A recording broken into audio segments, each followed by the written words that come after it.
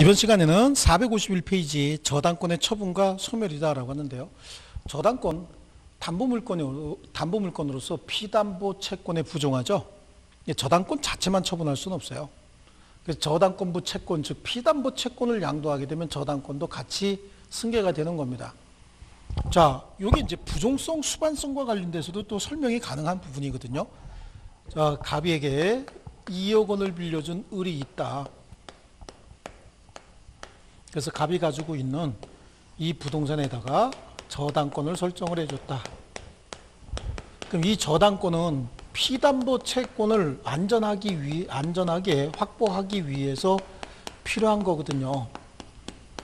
그래서 이게 주된 권리고 이게 종된 권리다. 부종성을 띠기 때문에 피담보 채권이 양도가 돼서 피담보 채권을 양수하게 되면 저당권도 일로 승계가 돼야 되는 거예요. 이게 원칙이다라고 하는 거죠. 그래서 피담보 채권이 소멸하게 되면 저당권도 소멸해야 되는 거죠. 뭐 어떤 원인에 의해서든지 소멸하게 되면 저당권도 같이 소멸하는 게 원칙인 거예요. 자, 이게 일종의 수반성이다라고 얘기를 하고요. 여기서 봤을 땐 피담보 채권을 소멸했으니까 저당권도 당연히 소멸해야 되겠죠. 그래서 이거는 부종성이다라고 설명을 드릴 수 있어요. 그래서 수반성, 부종성인데 이걸 합치면 이거를 우리는 부수성이다 이렇게도 얘기를 하죠. 부수성을 갖는다. 근데 이럴 수는 있습니다. 수반성에 관한 민법 규정은 배제 특약할 수 있다 그랬잖아요. 예, 수반성에 관해서는요. 피담보 채권만 양수하기로 하고 저당권은 승계하지 않기로 한번 해볼게요. 그럼 피담보 채권만 양수하게 되면 이때는 피담보 채권이 아니라 무담보 채권으로서 양수하게 된다 이렇게 말씀을 드렸죠. 무담보 채권을 갖게 되는 것이고 이 무담보 채권과 함께 이 피담보 채권이 소멸했으니까 을에게 저당권은 필요가 없는 거죠. 부종성의 원칙상 저당권을 소멸해 버리는 겁니다. 에, 이게 이제 저당권부 채권의 양도다라고 얘기를 합니다. 저당권부 채권 입질할 수도 있다라고 하는데요. 입질이라고 하는 건 뭐예요? 저당권부 채권 이거 자체를 또 질권으로 설정할 수도 있다. 그래서 입질할 수도 있다. 큰 의미는 없으니까 넘어가시고요. 그 다음에 저당권의 소멸입니다. 저당권도 물건이기 때문에 그 물건 목적물 자체가 멸실하게 되면 저당권 소멸해야 됩니다. 물론 물상 대위가 가능하면 그 가능한 범위 내에서 물상 대위를 주장할 수도 있겠죠. 그다음에 피담보 채권의 소멸시효가 완성이 된다. 이게 채권이잖아요. 이 채권의 소멸시효가 완성이 되면 저당권도 같이 소멸하는 겁니다. 소멸시효. 그다음에 지상권 또는 전세권이 저당권의 목적이 된 때 이때도 지상권 또는 전세권을 목적으로 저당권을 설정하고 난 그 지상권자나 전세권자는 저당권이 남아있는 상태에서 지상권이나 전세권을 스스로 소멸하게 하지 못하는 거죠. 그렇게 하게 되면 저당권에 손해가 생 저당권자에게 손해가 생길 가능성이 있거든요. 자, 여기를 이제 권리 관계로 한번 이렇게 도표를 그려보면요.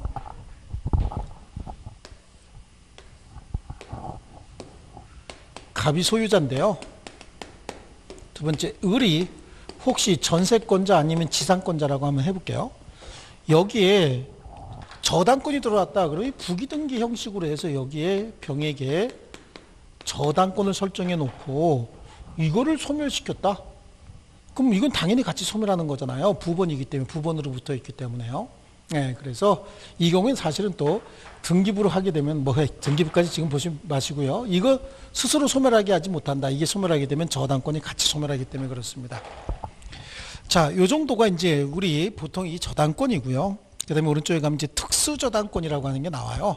근저당하고 공동저당인데 근저당 공동저당은 저당권하고 뭐가 다른가 요거 정도만 비교하시면 되고요. 최근에는 저당권보다는 근저당권을 많이 설정을 하는데 왜 채권자들이 저당권보다 근저당권을 더 선호하느냐? 채권자들에게 유리한 부분이 많기 때문에 그렇거든요. 그럼 어떤 부분이 채권자들에게 유리해서 저당권보다는 근저당권을 많이 좋아하느냐라고 하는 걸 한번 비교해 볼 필요가 있고 그런 부분이 시험 대상인 거예요. 그래서 우리 갑에게 2억 원을 빌려주고요. 그래서 갑이 가지고 있는 이 부동산에 저당권을 설정을 했다라고 하는 겁니다. 이렇게 처음부터 피담보 채권도 확정적으로 정해져 있고 그 다음에 담보물도 확정적으로 이렇게 정해져 있는 거예요. 그래서 피담보 채권이 성립해야 담보물권도 성립하는 거죠. 이 부종성이 있는 거고요. 그런데 갑하고 을 사이에 거래를 하기는 하는데 처음부터 앞으로 일정 기간 동안 거래를 할 거예요. 계속적으로 반복적으로 거래할 건데 거래하는 그 당일에는 아직은 채권은 발생한 게 없어요. 하지만 앞으로 계속해서 증감 변동하는 채권이 계속해서 발생할 겁니다. 이렇게 해서 거래가 끝나고 나면 그때 채권이 확정이 되는 거예요. 그런데 이때 채권이 확정이 됐는데 혹시 채무자가 못 갚겠다고 버텨버리면 채권자가 이걸 받을 어떤 가망성이 좀 떨어지고 또 복잡한 절차를 거쳐야 되고 그러니까 미리 담보 좀 하나 잡아놓자라고 해서 미리 사전에 담보를 하나 제공해 달라라고 해서 저당권을 설정하려고 하는데 저당권을 설정을 하려면 부종성의 원칙상 여기는 부종성이 적용이 된다고 했잖아요. 부종성의 원칙상 피담보 채권이 있어야 되거든요. 근데 피담보 채권이 없잖아요. 그러니까 저당권을 지금 설정하고 싶기는 해요. 근데 피담보 채권이 없다 보니까 저당권을 설정을 하지 못하는 거죠. 그럼 저당권 설정을 하지 못하는데 그럼 뭘 하느냐? 근저당권을 설정을 하는 거예요. 그래서요. 근저당권이다라고 하는 거. 이 근은 뿌리 근자거든요. 이렇게 땅 속에다가 저당권을 묻어 놓자는 얘기예요. 뿌리를 만들어 놓고 나중에 거래가 이제 실리하게 되다가 거래가 끝나고 나면 그때 피담보 채권이 확정이 되잖아요. 피담보 채권이 그때 확정이 되면 그때는 저당권이 근저당권이라고 써 있지만 사실은 저당권으로서 작용을 하게 되는 겁니다. 물론 이거 지워야 되겠지만 지우지 않아도 그냥 저당권으로 취급하면 되는 거죠. 그렇습니다. 이 특별한 어떤 거래 형태에 대해서 저당권을 설정하기 위해서 근저당권을 설정을 하는데 이렇게 처음부터 근저당권 설정할 때 이 목적물의 가액이 10억짜리다. 그런데 거래는 무제한으로 20억, 30억 한다. 이건 담보 제공 안 한 거나 한 거나 똑같아지죠. 그러다 보니까 이 10억이라고 하는 이 목적물의 가액 범위 내에서 거래하자라고 해서 거래 금액도 정해 놓습니다. 정해 놓는데 이걸 우리는 이 범위 내에서만 거래하자라고 해서 채권 최고액을 정한다라고 하는 거예요. 여기서 얘기하는 이 채권 최고액이라고 하는 건 둘 사이의 거래 관계에서 발생할 수 있는 거래액의 최대액을 여기까지 얘기하는 거예요. 실제 거래액은 이거보다 많을 수도 있고 실제 거래액은 이거보다 적을 수도 있어요.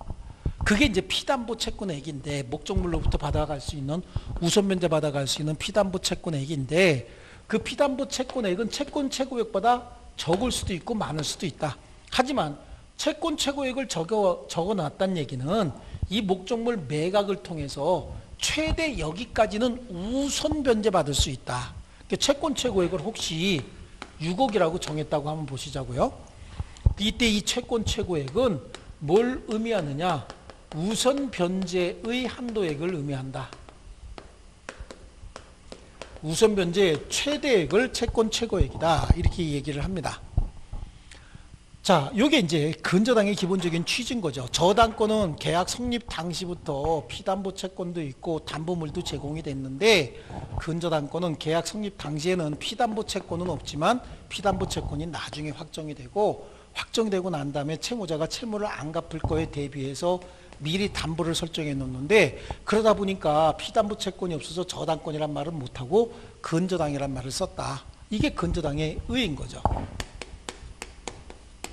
그러면 성립은 어떻게 되느냐? 이거 저당권하고 똑같습니다. 여기서부터는요. 성립은 근저당권 설정 계약을 체결하고 그 내용을 등기합니다. 등기하되면 하게 되면 근저당권이다 라고 성립하게 되는데 여기서 저당 근저당권 설정 계약에 당사자는 누가 되느냐? 당사자는 저당권과 똑같이 근저당권 설정자와 근저당권자예요. 근저당권 설정자는 채무자가 될 수도 있고 물상보증인 즉 제3자가 될 수도 있어요. 근저당권자는 원래 채권자가 돼야 되는데 다만 둘 사이에 특별한 정황이 있고 3자 간의 합의가 있으면 제3자 명의의 근저당권 설정도 가능하다. 저당권에서 봤잖아요. 그 다음에요. 목적물은 뭐가 될 것이냐라고 하는데 목적물 부동산 아니면 뭡니까? 전세권, 지상권 이런 것들이고요. 그 다음에 피담보 채권은요. 세상에 존재하는 모든 채권이 다 피담보 채권이 될 수 있다라고 하는 거예요. 똑같습니다. 완전히. 다만 금전 채권이 아닌 경우에는 금전적 가치로 환산 정도는 할 수 있어야 된다라고 하는 거하고 등기해야 된다라고 하잖아요. 등기. 여기서 얘기하는 등기에는 반드시 근저당이라고 하는 근저당권이라고 하는 취지를 반드시 정해줘야 돼요. 이 저당권하고 다른 것이다. 그래서 피담보 채권 없이도 저당권을 설정했다라고 하는 근저당의 취지와 그러면 피담보 채권 없이 했으니까 거래 한도액은 얼마로 할 것이냐? 채권 최고액은 이거는 반드시 등기해 줘야 되는 거예요. 물론 이거 말고 추가적으로 등기할 필요가 있는 것들도 있겠지만 필요적 등기 사항은 이거란 얘기입니다. 자, 그러면 성, 성립이 이렇게 해서 성립이 됐다라고 한다면 그 근저당이라고 하는 거고요. 그러면 세 번째 그 법적 성질은 어떠냐라고 하는 거죠. 저당권하고 똑같다니까요. 성질은 타물권이에요. 타물권이고요. 약정담보물권입니다. 약정담보물권이다. 법정 근저당권이 있느냐? 법정 근저당권은 없습니다. 약정담보물권이고 포괄 근저당도 가능하다. 포괄적으로 앞으로 거래관계에서 발생하는 모든 채권제 채무들을 하나만 말고 여러 가지로 다 포괄적으로 다 할 수도 있다. 예, 포괄 근저당도 가능하고요. 그 다음에 물권적 청구권 행사할 수 있느냐? 아이, 물권적 청구권, 목적물 반환 청구는 못해도 방해 제거, 방해 예방 청구권 행사할 수 있고, 담보 물권의 통유성 그대로 다 인정합니다. 통유성 네 가지 다 인정한다라고 하는 거고요. 그대로 다 인정한다. 그러면 그 효력은 어떠냐라고 하는데요. 효력이다라고 하는 거, 이거 저당권에서 나온 거 또 할 필요 없습니다. 또 완전히 똑같습니다. 그럼 다른 게 뭐냐? 피담보 채권이 언제 확정이 되느냐라고 하는 거예요. 피담보 채권이 확정되는 시기가 언제냐? 피담보 채권의 확정이다라고 하는 거하고요.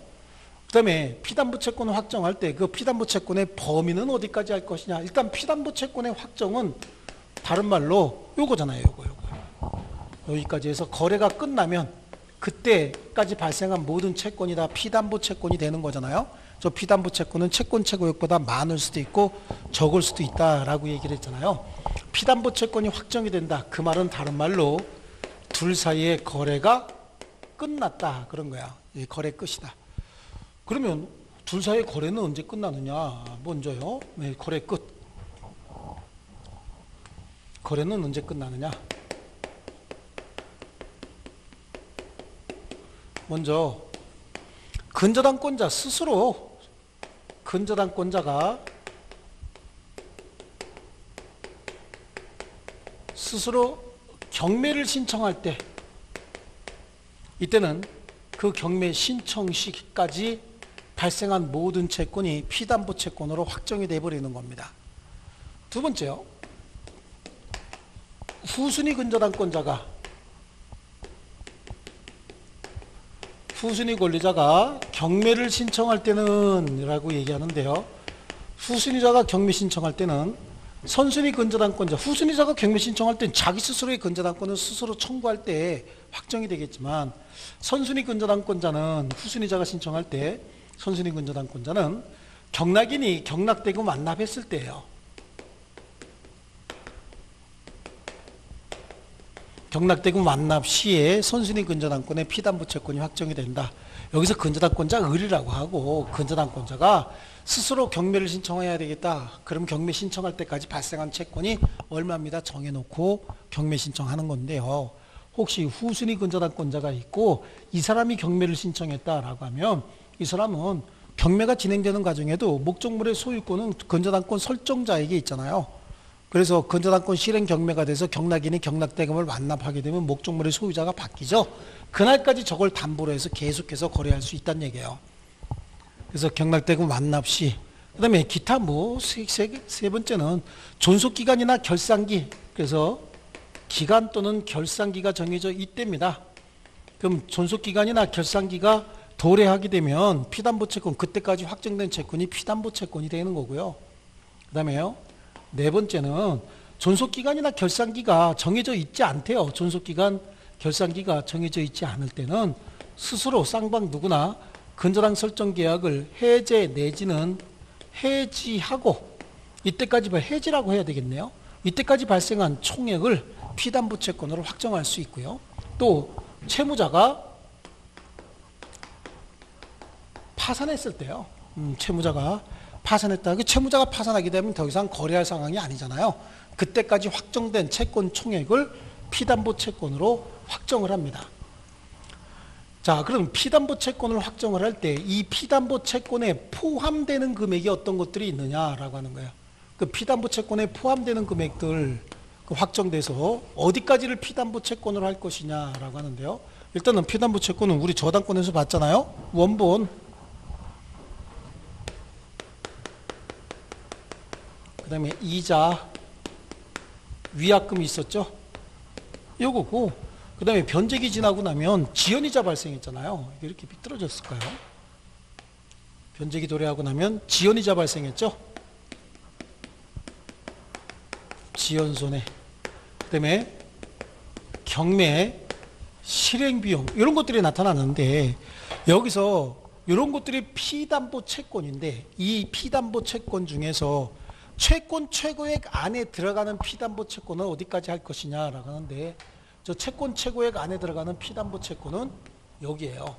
채권 최고액은 상호 간의 거래 관계에서 발생하는 최대 채권액을 얘기하는 거거든요. 그러니까 여기까지가 거래 관계에서 발생하는 거고 근저당권 실행 비용은 무조건 국가에다가 내는 거잖아요. 그래서 채권 최고액 안에 포함되는 그 피담보 채권액은 원본 이자 위약금 지원 손해다. 만약에 채권 최고액을 6억으로 했다.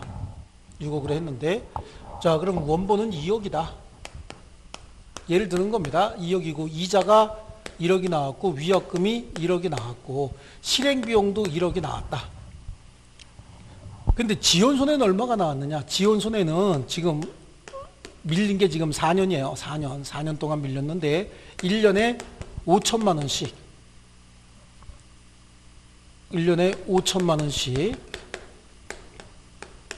1억씩 할까요? 지원손해도 1년에 1억씩이다. 1억씩이다. 이렇게 발생을 했다. 그래서 4년 만에 지금 경매를 실행하려고 한다라고 하는데요. 그러면 경매를 통해서 우선 변제받을 수 있는 한도액을 채권 최고액이라고 했잖아요. 그리고 채권 최고액은 거래 한도액이라고 그랬죠. 그럼 여기서 보면요.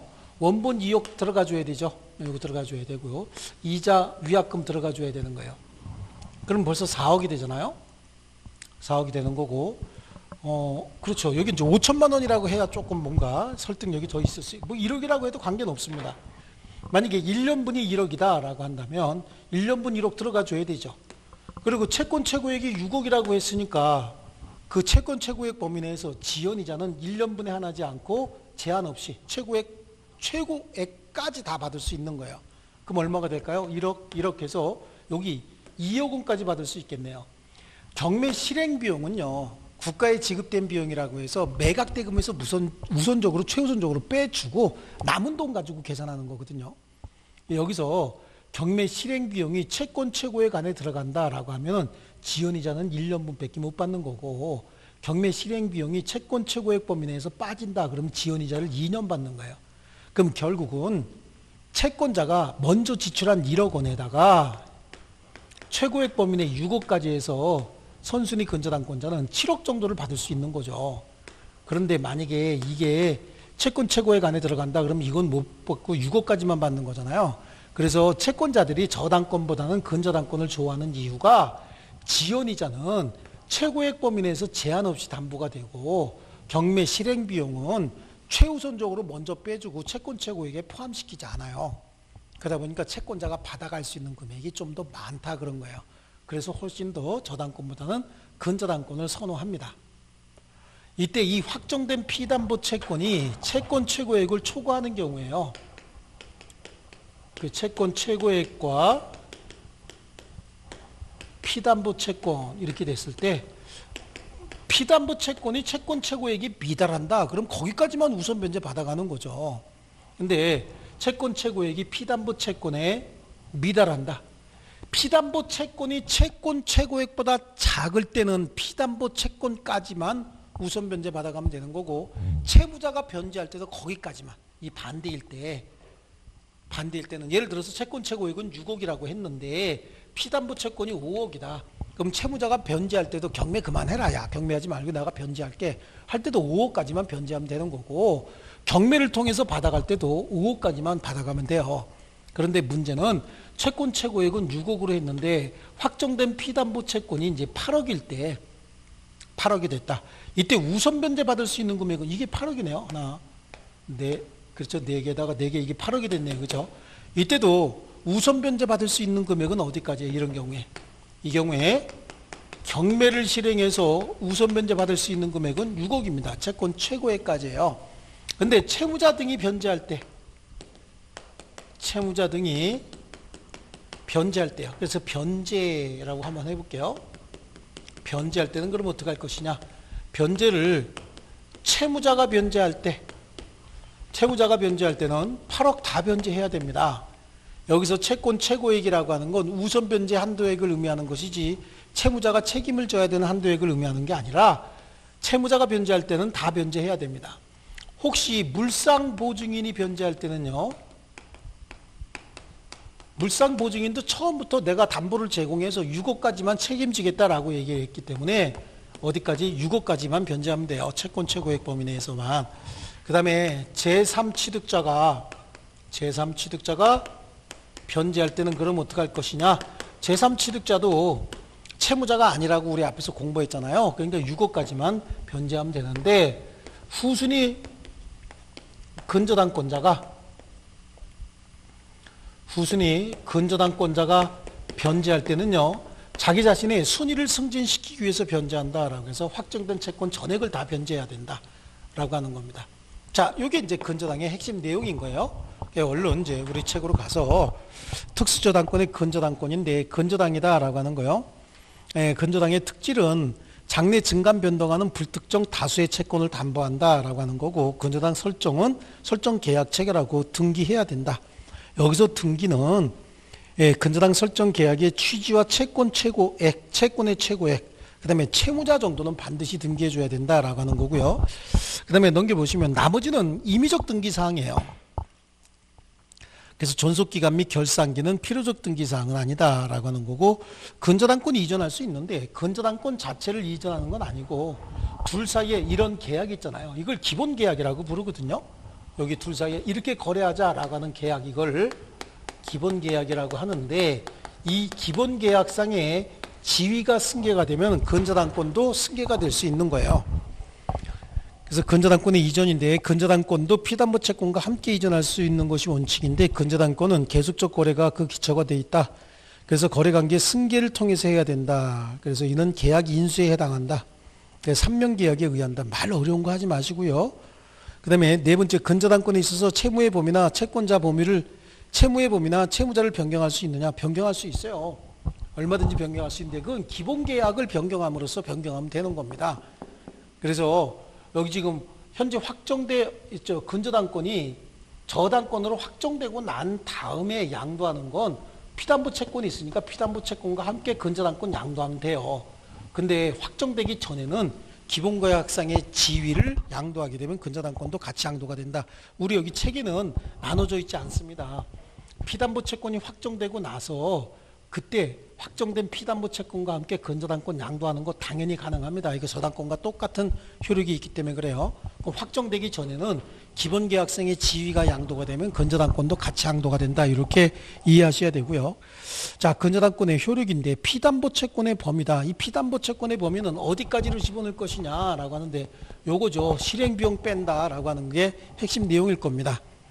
이자는 채권 최고액 속에 다 들어가는 거고요.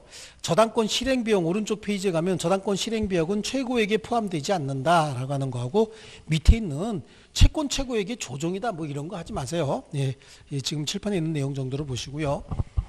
자 다음 페이지 보시면 담보되는 채권의 확정이다라고 하는데요. 담보되는 채권의 확정이라는 얘기는 피담보 채권의 확정이에요.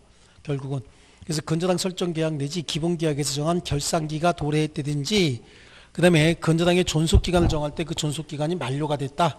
또는 기본계약에 해지, 해지가 있었다라고 하는데요. 자, 여기 있는 내용이잖아요.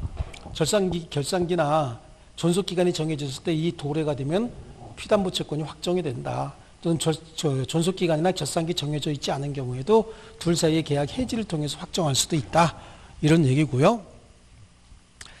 자, 그 다음에 에, 근저당권자 당사자 사이에 에, 계속적 거래 관계에서 발생하는 불특정 채권을 어느 시기에 잔존하는 하는 채무를 일정한 한도 내에서 담보하는 저당권으로 보통 저당권과 달리 발생 및 소멸에 있어서 피담보 채권에 대한 부정성이 완화되어 있는 관계로 피담보 채무가 확정되기 이전이라면 채무범위나 또는 채무자를 변경할 수 있다. 앞에서 얘기한 거잖아요. 기본 계약상의 지위가 양도가 되면 채무자도 바꿀 수 있고 채권자도 바꿀 수 있어요. 이거는 채권 양도, 채무 인수 뭐 이런 개념으로 접근하시면 되는데 그냥 채권 양도, 채무 인수는 우리 시험범위 아니니까 그냥 기본 계약 상의 지위를 양도하면 이렇게 그냥 접근하셔도 관계 없습니다. 자, 그 다음에 피담보 채권이 확정되는 시기에 거기 로마자 4번에 보시면 근저당권자가 피담보 채무 불이행을 이유로 경매 신청한 경우엔 경매 신청 시 확정이 되고 이후 근저당권은 부정성을 띄어서 보통 저당권하고 똑같이 취급하게 된다. 또 채무자나 물상보증인이 파산 선고받은 경우에도 확정이 되고 다른 채권자가 목적 부동산에 관하여 경매를 신청한 경우에 선순위 근저당권자의 피담보 채권은 경락되고 완납시 경락이니 경락되고 완납시 요 순서대로 요거는 굉장히 잘 나오는 부분이에요. 근저당에서 그다음에 피담보 채권 중에서 채권 최고액 범위에 들어가는 피담보 채권 어디까지 할 것이냐라고 하는 거요. 음, 요거까지 같이 해두시고 오른쪽 페이지에 근저당권을 실행할 수 있는 시기는 근저당권을 실행하는 것은 피담보 채권이 확정이 되고 별, 예, 채권의 변제기가 도래 한때다라고 하는 거고요. 근저당권의 소멸은 근저당권은 피담보 채권이 소멸하더라도 그에 의해서 소멸하지 않습니다. 왜냐하면 근저당권이라고 하는 거 이거 자체는 거래를 하다가 갑자기 모두 다 변제가 됐다. 여기서 피담보 채권이라고 얘기를 하지 말고 개별 채권이라고 하셔야 돼요. 이렇게 개별적인 채권이 거래하다가 순간적으로 소멸했다든지 아니면 여기서 거래하던 몇 가지 채권이 제3자에게 양도가 됐다라고 해서 근저당권의 기본 계약이 살아있는데 그 근저당권 마저 같이 양도가 되거나 소멸하는 거 아니거든요. 그래서 부종성이 완화가 된다라고 얘기를 하거든요. 자, 그러면 근저당권의 소멸이에요. 근저당권은 피담보 채권의 소멸하더라도 그에 대해서 소멸하지 않고 피담보 채권의 발생 가능성이 확정적으로 없게 된 때 소멸하게 된다라고 하는데 여기서 근저당권은 피담보 채권이 소멸하더라도 라고 하지 말고 개별 채권이 소멸하더라도 또는 개별 채권이 이전되더라도 뭐 이렇게 바꾸셔야 됩니다. 그 다음에 포괄 근저당도 가능하다. 그냥 포괄 근저당 가능하다. 포괄적으로도 설정할 수 있다. 그냥 그런 정도로 보시면 됩니다. 그리고 시험에 굉장히 잘 나오는 부분입니다. 이 부분은요. 그 다음에 요거 두 개. 굉장히 좀 잘 나오는 부분이고, 이 부분, 채권 최고액과 피담보 채권을 확정을 했을 때, 확정된 피담보 채권액이 채권 최고액을 초과할 때, 경매를 실행해서 받을 때는 채권 최고액까지, 그 다음에 변제 등으로 인해서, 예, 예, 피담보 채권을 소멸시킬 때는 채무자가 변제할 때는 총액 다, 확정된 총액 다, 물상보증이나 제3취득자는 채권 최고액까지, 후순위 근저당권자가 변제할 때는 총액을 다 변제해야 된다. 자, 그런 정도 보시고 근저당은 이렇게 해서 마무리하겠습니다. 그 다음에 이제 공동저당이죠. 어, 공동저당은 목적 피담보 채권이 하나가 에, 주어지는데요. 자, 요건 지우겠습니다. 피담보 채권이 너무 크다 보니까 담보물 하나만 가지고 피담보 채권을 모두 다 담보하지 못할 때 담보물을 두 개 이상 제공하는 거예요. 그게 이제 공동저당인데요.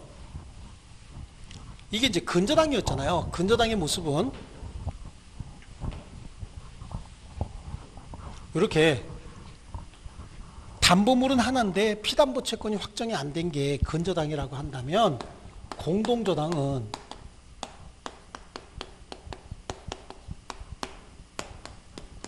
피담보 채권은 이미 확정돼 있습니다.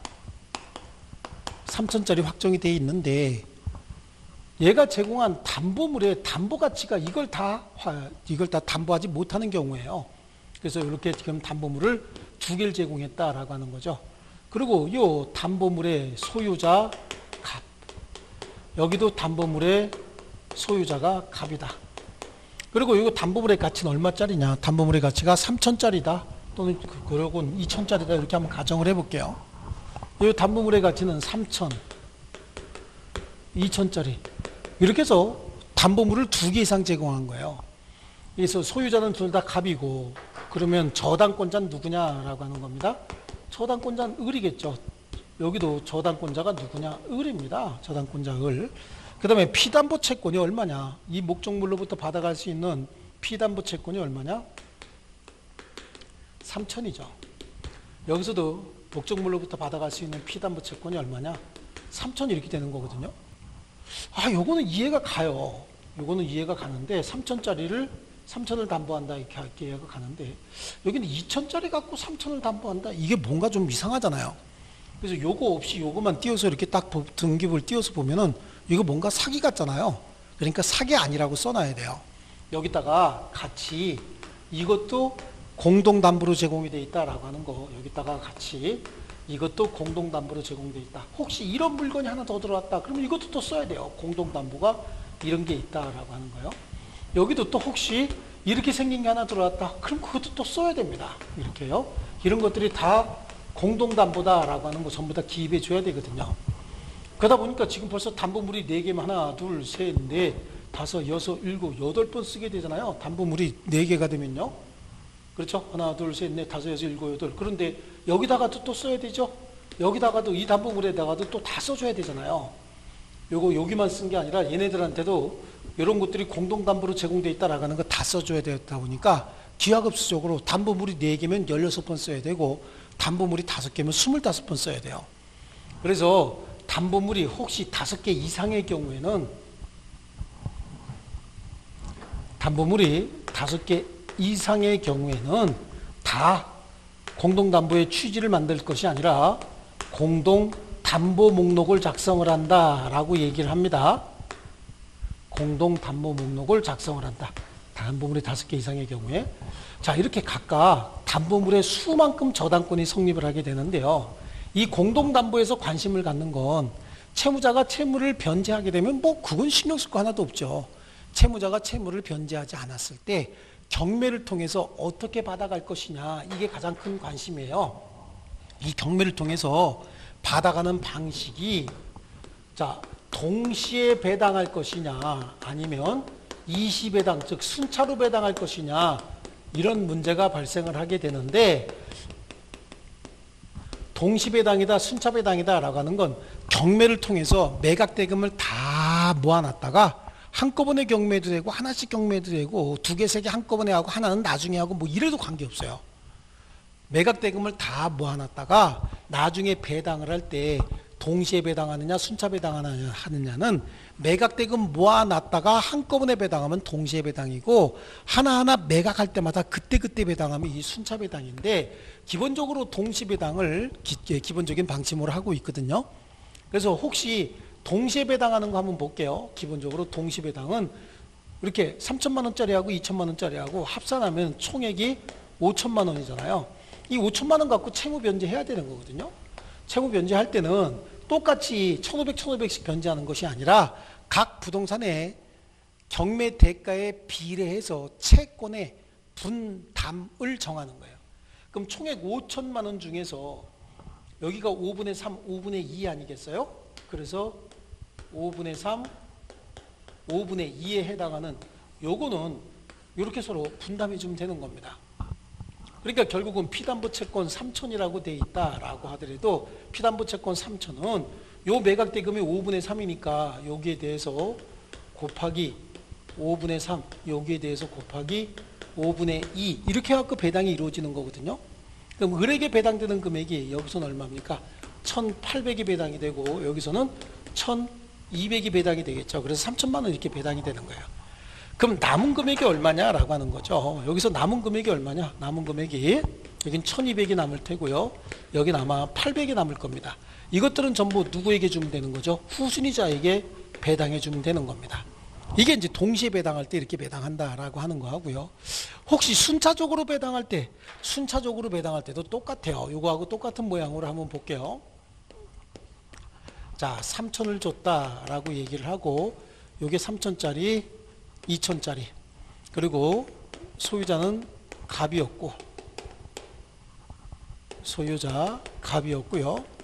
저당권자 을이고, 저당권자 을이고, 각각 받을 돈 3천씩이다라고 하는 거잖아요.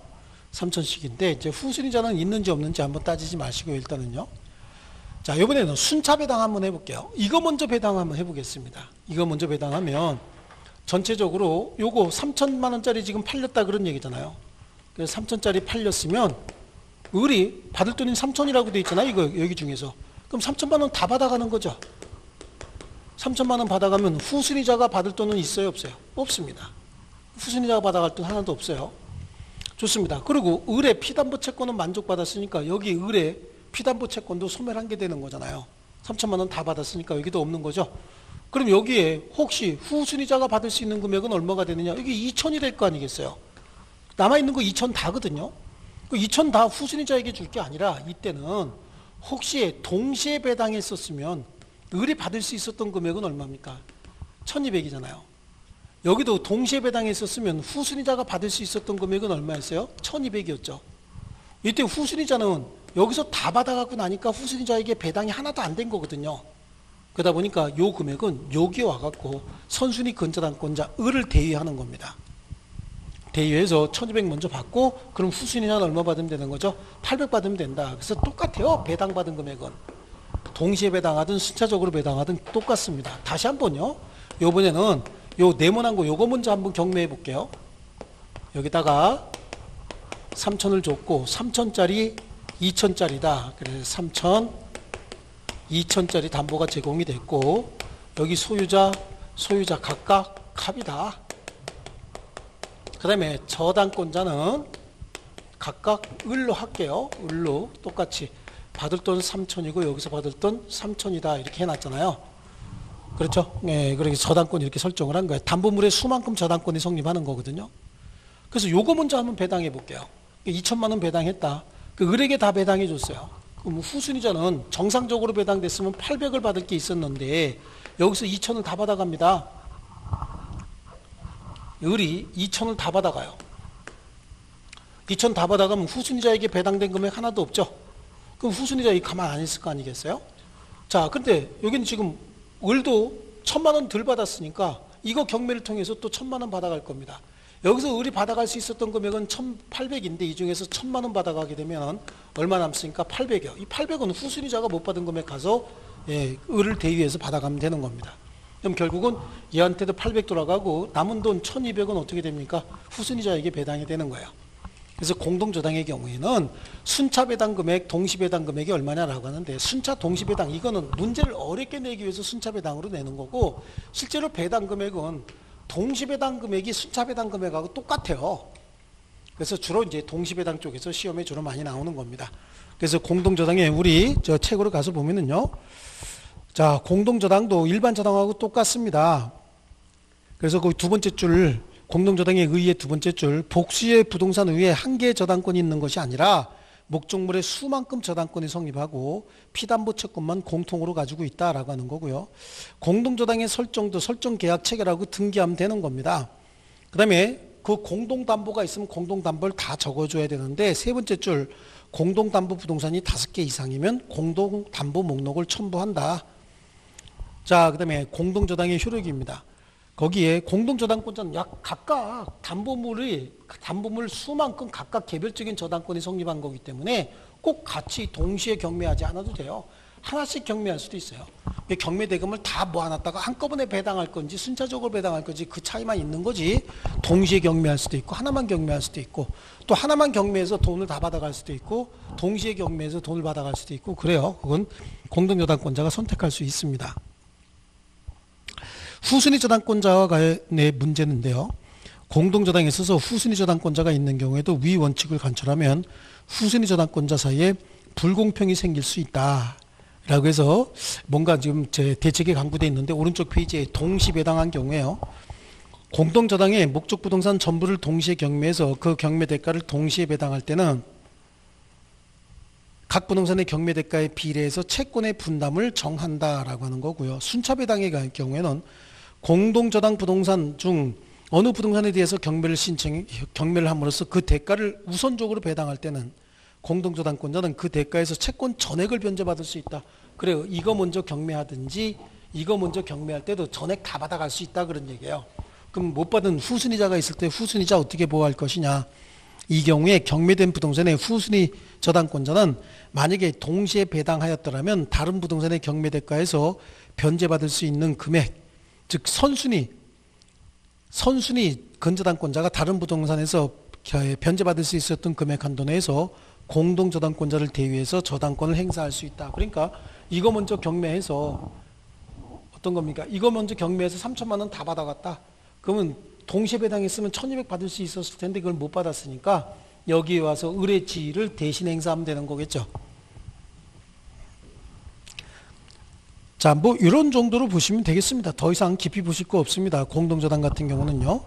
자, 이렇게 돼서 우리 어, 담보물권까지 마쳤고요. 음, 다, 다음 시간에는 우리 이제 물건이 아닌 채권 쪽, 즉 채권 중에 우리 시험은 계약법까지만 들어가죠. 네, 계약법에 관해서 계속해서 공부하도록 하겠습니다. 자, 다음 시간에 뵙겠습니다.